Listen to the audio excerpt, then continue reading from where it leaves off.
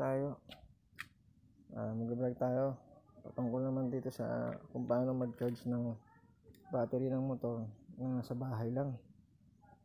So, in case of emergency, hindi na tayo makapunta sa motor shop dahil nga nalobat ka na sa bahay. So, meron naman paraan paano tayo makakapag-charge ng battery. So, bagong lahat, checkin muna natin. Checkin muna natin si motor.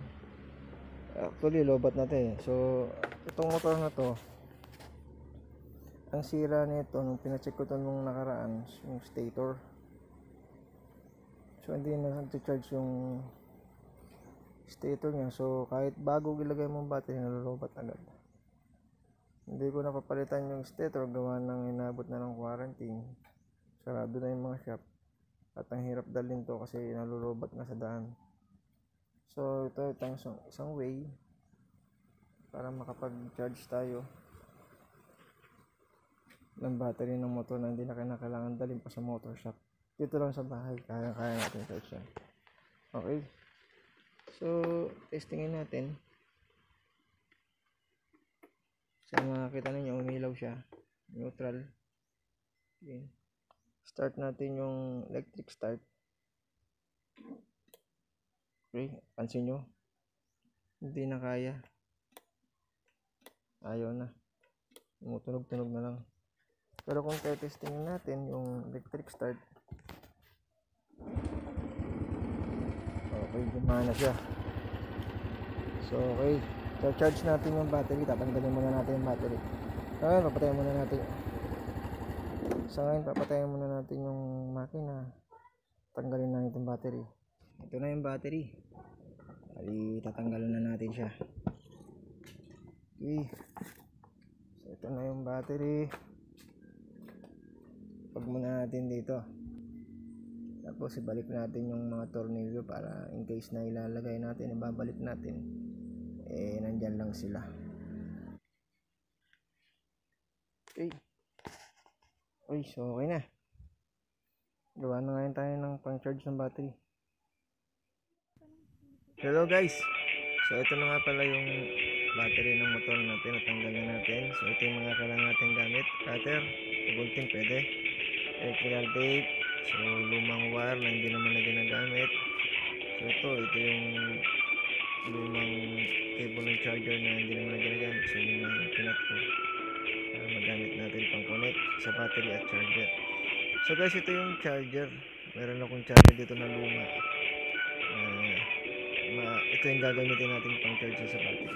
So importante dito mga guys, yung output niya is 12 volt, 2 ampere, swak na swak siya dun sa battery ng motor natin. Ito nga pala mga guys, binili ko lang ito sa bangketa sa mga muslim. Worth 150, tatawaran mo hanggang 100 pesos yan. So yung pinakasaksakan niya, yung positive, yun yung sa loob. Okay?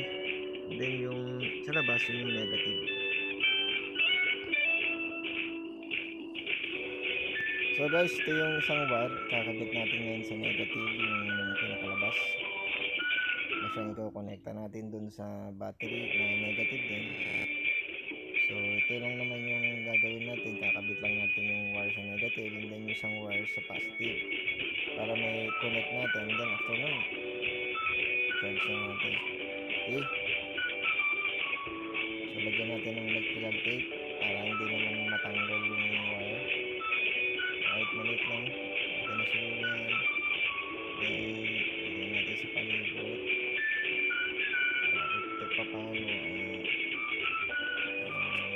kapit siya.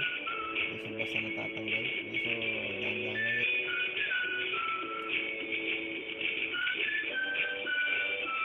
Okay guys. So naikabit na natin yung wire sa negative. Ito namang wire naman para sa positive naman. So takbukan natin yung wire para mag-double focus isip natin doon sa pinaka so ito yung guys magsisilbing ano natin eh, positive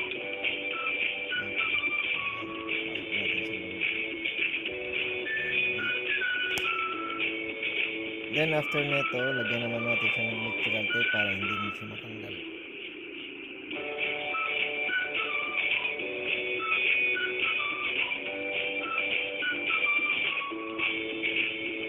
guys, okay na. So, ikabit na natin ngayon yung ginawa nating charger sa battery. Yung negative sa negative, then yung positive sa positive. Okay.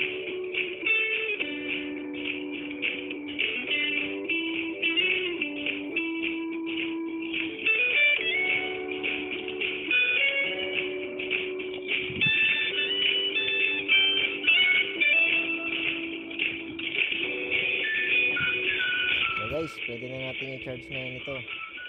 So, charge na natin to at least mga 5 to 6 hours para at least para mag-full yung battery natin bago natin ikabit din sa motor.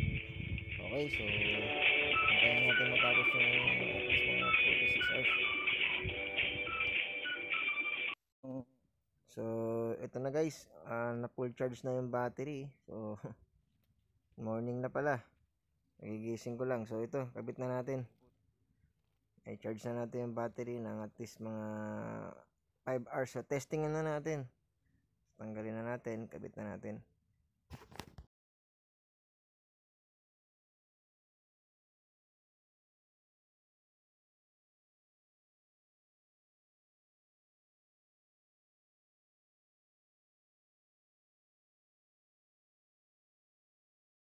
Yeah, yung electric start, diba? Tingnan natin ngayon kung gagana ngayon yan. Charge na. Testing natin. Sabit ko muna to. ah. Tingnan natin ha. So yan, naka-neutral na. Testing natin yung electric start cap. Ah, nung bago natin tanggalin yung battery, hindi gumagana to. Yung electric, yung kick start lang. So ngayon, chinarge na natin at 4 hours. Testing na natin. Okay guys, gumana. So yun lang paps mga guys. So ganun lang simpleng pag-charge natin ng ng Ganti natin yung ilaw ah. So, low beam, high beam, magana. Then tingnan natin yung busina. Oh, lakas. Bago natin tanggalin yung battery, walang tunog yan. Ayun, gumagana na. Okay guys, so salamat ha. Sana may natutunan kayo sa araw na to. Okay, ah, para sa inyo. Ah, God bless po. Thank you.